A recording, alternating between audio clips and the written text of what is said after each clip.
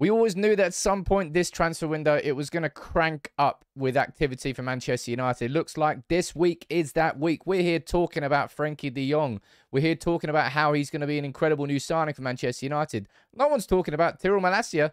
Neither was Fabrizio Romano, really. Not to Manchester United until this afternoon. But apparently Manchester United are hijacking the deal for the 22-year-old Feyenoord left back who was on his way to Lyon, maybe not anymore. With further reports coming from Voetbal International now that Manchester United have already agreed the transfer with Feyenoord in a deal late last night. Let's, I'll run through everything for you. Make sure you subscribe if you're new. I'll try and bring you the updates as and when they happen. But Tyrell Malacia, this was only a couple of days ago that uh, Fabrizio Romano was reporting this deal completed for Malacia to join Lyon. Now, for a lot of United fans, that was a bit of a frustrating situation. Someone like Malacia who could come in and offer real competition at left back for Luke Shaw. Real competition. Very cheap, 15 million. And then all of a sudden, out of nowhere this afternoon, boom, we get a bit of this from Fabrizio Romano.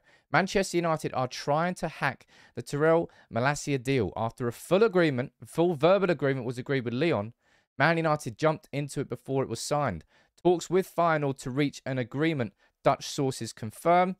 And detail, this is an interesting one. Malacia has got the same agents as Frenkie de Jong. We go over here to Martin Krabbendam, which has to be one of the best Dutch names I've heard in a while. He's saying this that Feyenoord reached an agreement with Manchester United last night.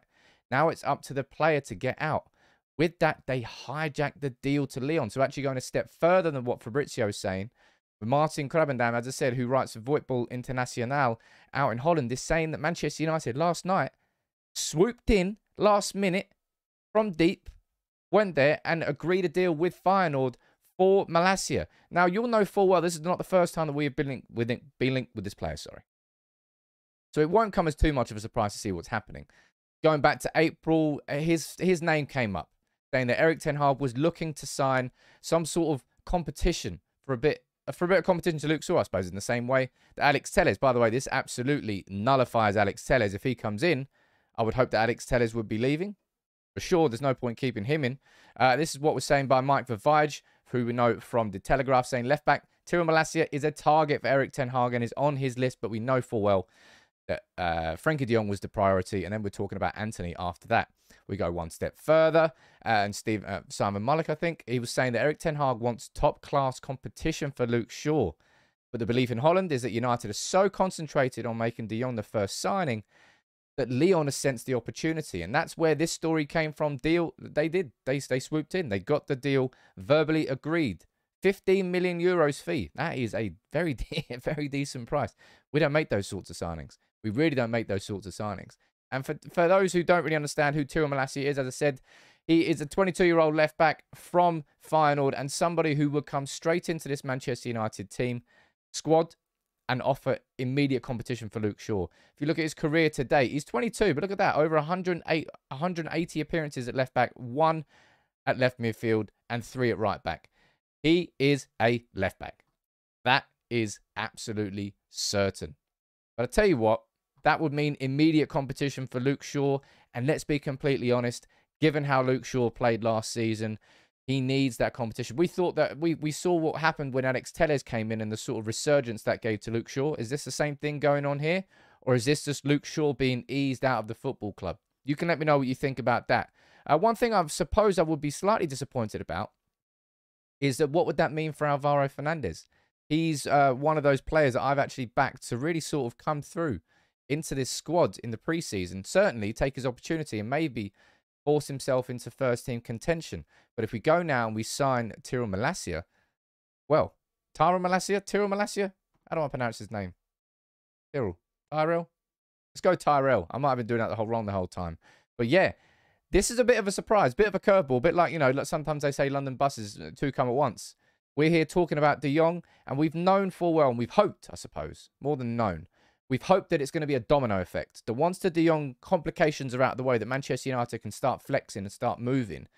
Now it looks like United have gone back in. Not that we weren't in for Malacia, but we, as I said, we were so focused on De Jong that we allowed Lyon to go and do that. But this afternoon, Fabrizio, they're confirming that Manchester United are trying to hijack the deal, despite the fact that the full agreement was there for with Lyon, and they'll be fuming, absolutely fuming if this happens. Man United are going into it. He's saying, uh, I do find it interesting the fact that he's got the same agents as De Jong. We can just continue that conversation. Oh, now that we've got Frenkie sorted, how about Tyrell? Tyrell? How about Malacia? Let's talk about him instead. But sources out in Holland going a step further than Fabrizio Romano, saying that not only are Manchester United trying to hijack the deal for him, but that Manchester United have actually reached that agreement.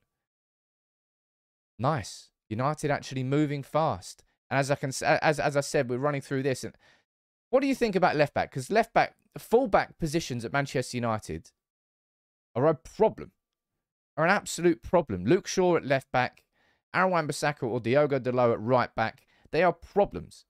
But I didn't personally feel that we had enough money this summer to go out and spend what we needed to spend to sign reinforcements. That's why I personally thought that we will be looking inwards. I thought we'll be looking at players like Alvaro Fernandez at left back and probably Ethan Laird at right back as two options who can come in and sort of offer that competition that would hopefully either make Luke Shaw better or simply he would just supersede Luke Shaw. And you'll notice, honestly, and I'm not doing this on purpose, but I'm just I'm not really mentioning Alex Telles' name at all. I think he's been such a disappointing signing since he arrived from Porto. He really has. I thought we were signing that Champions League, established quality. I thought he was going to whip the balls into Cavani, scoring that left. No chance. Alex Telles, if he comes, if Tyrell Malacia comes in, Alex Telles should be sold. Simple as that. Because then you've got three potential options. You you would have, for example, you'd have Shaw, you'd have Malacia, and you would have Fernandez. That's excellent strength, not strength in depth, but you can you can see something happening there. Either Luke Shaw's going to improve and get back to that sort of form that saw him. I think was he named in Euro team of the tournament? I think he was. Anyway, he was great for United that year as well. And if it's not Luke Shaw, then it might be Malacia coming through. And if it's not Malacia coming through, it's going to be Fernandez. That sort of healthy competition is needed in every single position at Manchester United.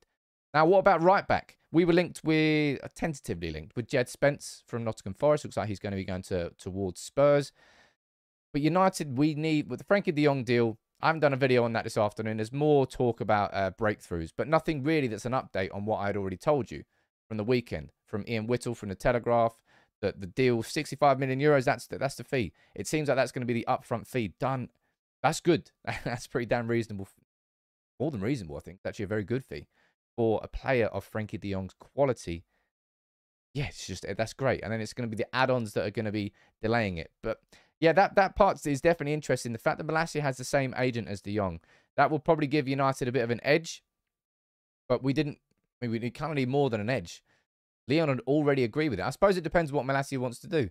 At Lyon, he'd probably be far more likely to go through and be, I don't know, be, be someone who starts regularly than at Manchester United. If he comes to Manchester United, he would have, he would effectively have to come in straight away and fight for his place. But what what do you think about this this news?